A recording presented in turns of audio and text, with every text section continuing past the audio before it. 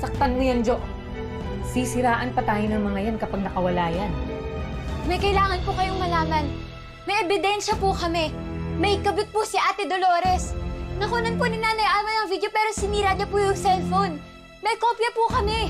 Kuya, kuya makinig ka sa akin. Niloloko ka ng babaeng yan. May kabit siyang pulis, kuya. Maniwala ka naman sa akin. Sinasabi ko na nga ba, Jo, eh. Sinisiraan talaga ako nitong mga to, eh. Pati tong dalawang kutong lupang to, ha, kinukuntsaba pa ng matandang yan, may pa-cellphone-cellphone pa kayong malalaman. Jo, hindi totoo yung mga sinasabi nila.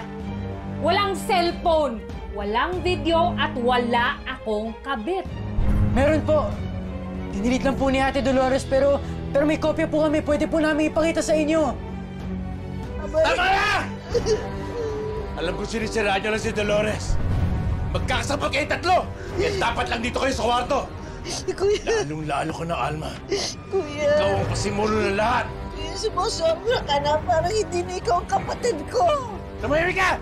Wala na talagang pahit na pamaitan sa puso mo, kuya. Pagawalan mo na ako.